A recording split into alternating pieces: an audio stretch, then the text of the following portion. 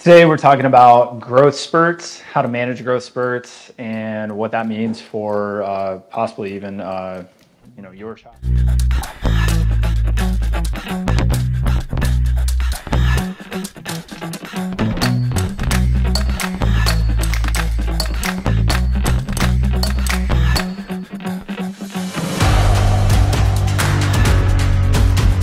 Uh, so I wrote a book uh, that came out a couple years ago called The Age of Movement, and I'm pulling a lot of this information from what I distilled down into that book, so you can go read a little bit more about that and some of the studies that I'll put in the links to this video. Uh, this is something we talk about a lot because there has been a five-fold increase in sports injuries, youth sports injuries, since just the year 2000.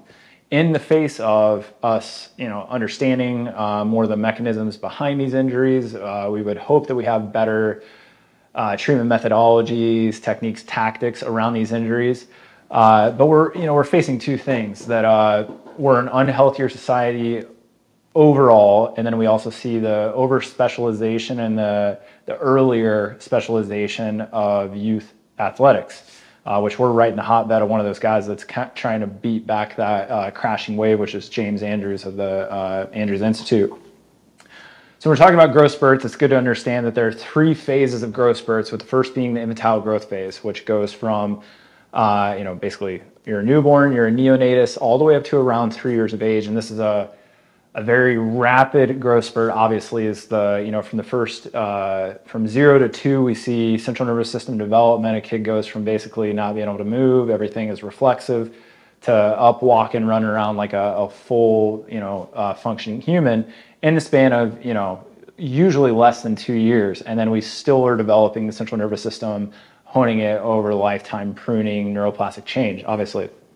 Second growth phase is a prolonged childhood phase with steady growth. So we don't see a lot of big jumps during this phase, uh, but we see steady growth, and that can be dependent on a lot of things uh, nutrition, hormones, environment, all these things.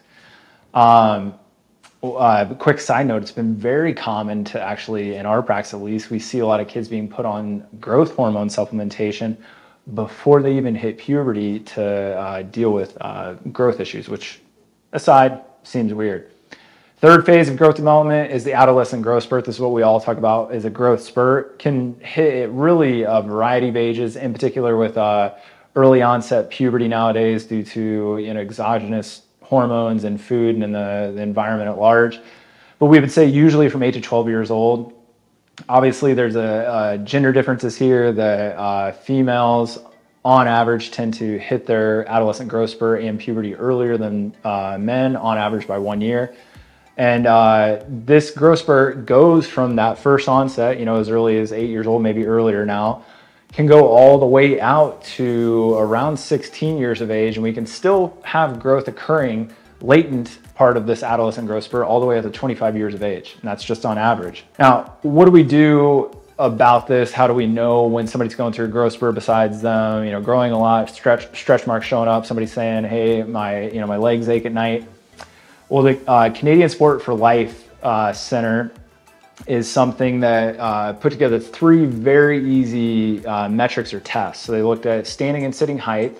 Uh, so basically looking at torso versus uh, you know lower uh, lower extremity ratios, arm span, and then weight. And they look at these things and track them from the time you know a kid's uh, pre-sports participation going through sports, and via that they're able to predict or at least dictate when they're in certain phases of their uh, growth spurts, which I'm going to put a chart up here uh, from a study uh, called Windows of Accelerated Adaptation to Training by Balyi and Way from 2005. And this is also found in my book. Um, and you can see in this chart that as we go through the different phases, um, I'm pulling this chart up for myself to see here. As we go through the certain phases, um, there are specific activities that we're going to be working with uh, during those phases in some of these phases, we're never going to be able to capitalize on them the same way if we would hit them during these, uh, these you know, peak times of the growth spurt. So we can see that this is, you know, starting at five years old. We see one of the first things that uh, we tend to start working on is suppleness, which is the factor of basically mobility with, uh, let's say, grace, the ability to get an in range of the motion and control with speed, right? Kids don't develop aerobic capacity until they build speed. So we have the the neuromotor function or movement to do something like running over a period of time. Then for both male and female, we see around the same age that skills, this is honing skills such as throwing, hitting objects, swim strokes, all these things become uh, honed as we've uh, got gross motor function under our belt. Um, we have the ability to move and end ranges under control, barring we're not in that 30% of the population that falls outside of the normal uh, motor pattern developments. Um, and then it kind of changes a little bit. And we see that obviously males maybe hit that peak height velocity growth spurt a little bit later than females. It's also a much steeper curve, um, and it doesn't last quite as long. Um, no pun intended there. Uh, but we see that during the peak height velocity for females, we actually want to work on speed first, then stamina. Um, you know, that could owe to maybe some of the ligamentous uh, changes that are going to happen during puberty for uh, females, that they're going to become a little more lax.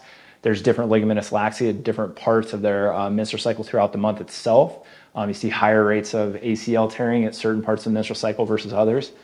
Um, and then stamina second with women, stamina first for boys. Um, but what I tell everybody is from this age range, from 8 to 12 years old, you're never going to be able to build mitochondrial density uh, like you can at like this at any other point in your life, which is something you know, I don't want to, us to turn into an Eastern Bloc country in the States where we say, hey, your kid needs to be doing these sports. But let's say it's perfect world. I have two little girls, a three year old and a six month old, and I really wanted them to be the best in the world at whatever they want to do later in life. I'm not picking a specific sport. My goal would be what? To encourage things that include speed and suppleness, things like martial arts, sprinting, jumping, uh, you know, things that explore movement, gymnastics, even at that age would be great then some skills. They maybe specialize a little bit, right? So maybe it's soccer, uh, you know, hitting, throwing, but not too much of any one thing still. When we hit that peak height velocity, they've done something they've probably started to specialize a little bit. But this is where we want, in my opinion, not too much, but we want massive amounts of volume of both uh, zone two, which has become very popular, zone two work, which think of soccer, like somebody jogging around, jogging around. Every once in a while they sprint, jogging around, jogging around, right? Uh, swimming, fantastic, uh, you know, type of sport for kids to take uh, uh, participate during this time. And we'll talk about the other reason of that in a minute. Uh, versus we do all of the same sport all the time. Let's say it's something, uh, a reactive sport like baseball. Somebody's just sitting at shortstop, barely moving except when the ball's hit to them, running, you know, maybe just the base track you know, max six times a game and doing conditioning a few times a week versus, you know, something like swimming. I just, you're never going to get that back.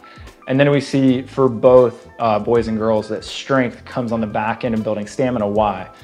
Because you have to be able to exert enough amount of force over enough amount of time via stamina to build strength, which is uh, strength and conditioning 101. Um, so that's kind of the rhyme and reason to uh, growth spurts and how we would manage them. Now, the thing that still has not yet been talked about is, well, how do you offset injuries during these growth spurts?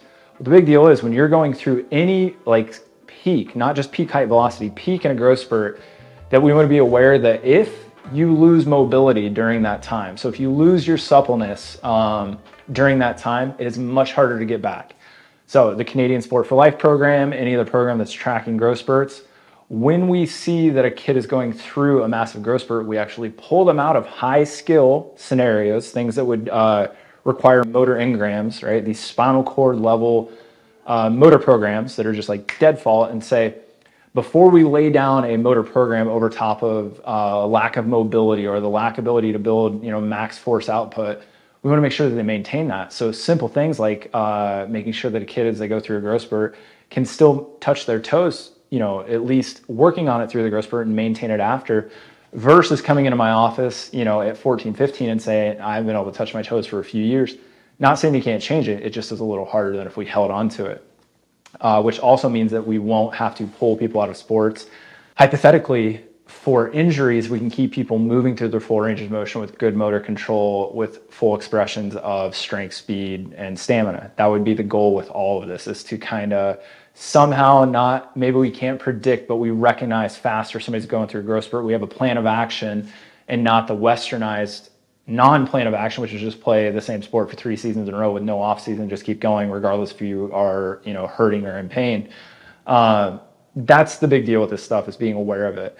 The only way to be aware of that fully is to just recognize that, hey, my my you know kid or daughter, hey, maybe you do these things yourself. Hey, can you touch your toes? Uh, we're measuring height, you know, old school way on the door frame, and we go about our business, and we've got a better plan than at least no plan.